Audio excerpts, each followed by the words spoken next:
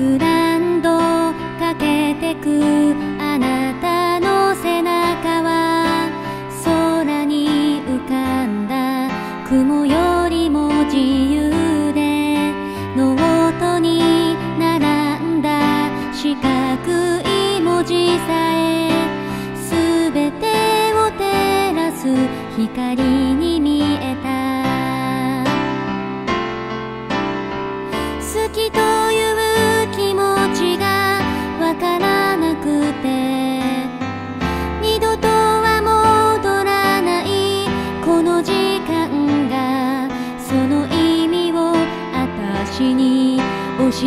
てくれた。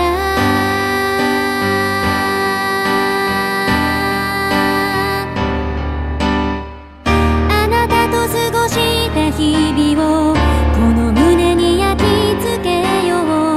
思い出さなくても大丈夫なように。いつか他の誰かを好きに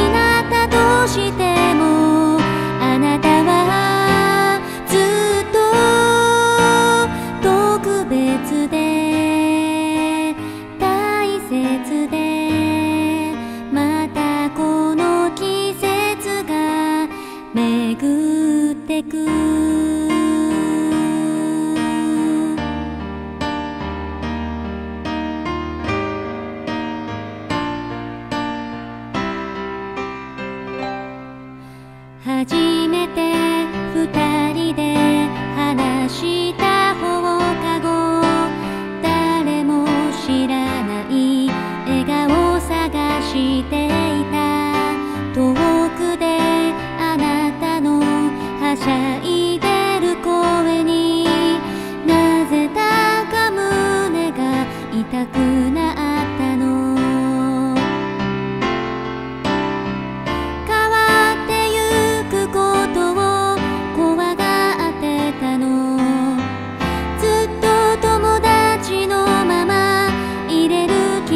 した終わってくものなどないと思った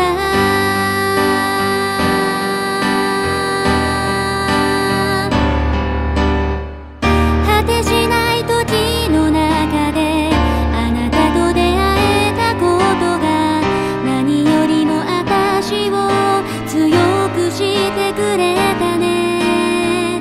宇宙でかける明日